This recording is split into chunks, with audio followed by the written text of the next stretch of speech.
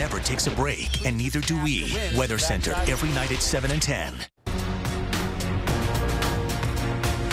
I'm meteorologist Mike Seidel on the banks of the Mississippi here in Chester, Illinois. Tonight, more severe weather, two tornado watches, and another watch for this area extending all the way east along the Ohio River is due out very soon.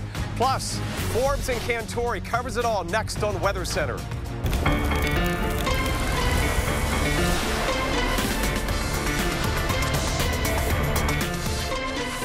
Good evening, everyone. Thanks for joining us tonight on Weather Center Live. I'm Crystal Egger. And I'm Kelly Cass. Time now 7 Eastern, 6 o'clock Central, and severe weather is once again setting its sights on pretty familiar targets, actually. For the second time this week, St. Louis is set to see a pounding. In fact, we have live severe weather team coverage, including expert analysis you will not see anywhere else. Meteorologist Mike Seidel is live in Chester, Illinois to track the nasty weather. Mark Elliott live in the Digital Media Center with a look at all the eyewitness videos and pictures that are coming in. But let's kick things off with our severe weather expert, Dr. Greg Forbes, and storm tracker Cantore with the very latest on watches and warnings. Guys, here we go again. Yeah, here we go again. This time, though, there's a storm that's rotating as it's heading towards St. Louis, so that could certainly be a big problem. We saw that the other night, too, when it went right over the city.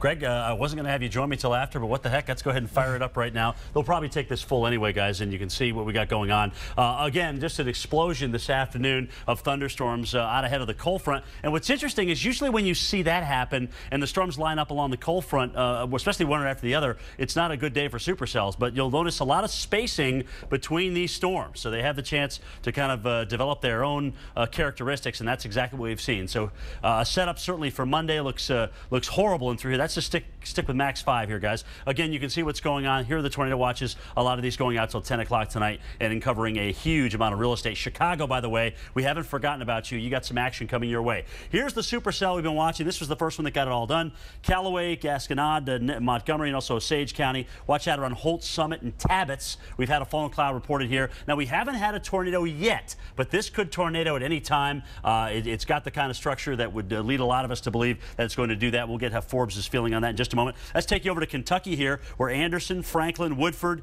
uh, and Fayette counties all under a tornado warning at the present time. This storm is heading toward Lexington, and it's produced a wall cloud around Lawrenceburg. So that's a lowering base there underneath the cell. And as you can see, it's heading toward Branson before it gets to Lexington. All right, we take you down into uh, my goodness, where? Oh, this is Lexington. This is Kentucky. Okay, down toward Frankfort. You can see the storm as it is heading uh, toward Lexington. Guys, prepare to take cover in Lexington. This storm has had wall clouds and funnel clouds associated with it, and it certainly could tornado at any time. In Oklahoma, we've got Creek, uh, Creek, Okfuskee, and also Okmulgee County. Right around Bixby, they've had a funnel cloud and also 2.5 inch or tennis ball size hail in that neck of the woods. All right, let's go to uh, graphics 14 here, and we're going to get into some of these cells, which, as you can see, down through uh, really the I-44 corridor Oklahoma have uh, begun to rotate. All right, Forbes, which caught your eye? Let's talk about this, this storm, first of all, heading toward Lexington, I believe. Yeah, it's about 20 miles away from Lexington. It looks very good on uh, radar, but some of the rotation seems to be aloft. The pattern is very uh, strong, but the surface, uh, the low-level velocity signature,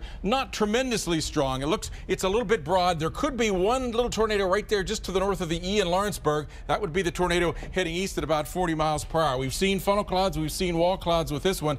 Let's take a look at the storm that's about two hours or so away from the St. Louis area. Uh, south and east, it's in central Missouri, heading toward the Chamois area and then the Hermann area. You can see it too has a pretty well-defined wall cloud with it. Uh, some uh, rotation, mostly been aloft, funnel clouds and wall clouds with that one. Then the brand new storm, southwest parts of Missouri, uh, heading uh, generally toward the just south of Monett and toward the Purdy area. It too has rotation, the inflow coming in these areas. So these and other supercell thunderstorms uh, with the possibility of large hail and tornadoes. Jim. Yeah, we have five supercells out there with tornado warnings on them, guys. We need to keep an eye on these. Crystal, back to you. Once again, the heartland could get hit hard by storms. Storms so strong they could produce tornadoes. Meteorologist Mike Seidel was in East St. Louis in Illinois. That was Monday night. Tonight he's too far from, not too far from there, Chester, Illinois. And back to the same area pretty much, Mike, in one week and another prime spot for some active weather. Yeah, three nights later, and uh, just down the river on the east bank here on the Illinois side, looking back towards Missouri. And the storms will be coming from this direction, from the south and southwest. The wind is coming right into the camera. So as we go up in height, the winds go from the south to the southwest to the west. So we have that directional shear and the low level winds from the south. So we have enough change in wind direction with height that we will probably see some more uh, tornado warnings. And we're expecting a tornado watch to include this part of the state, including here in Cape Girardeau, and then the SPC, the Storm Prediction Center, saying they're going to extend that watch into areas where that severe thunderstorm watch is set to expire uh, in the next, uh, well, just expired at the uh, top of the hour. So we've got a lot to watch this evening. Uh, again, the risk of strong winds, uh, possible wind damage, and large hail, and potentially some tornadoes here in southeast Missouri. Going into the weekend and next week, Crystal, it's going to be heavy rainfall and the uh, threat for flash flooding along those rivers, creeks, and streams. Crystal?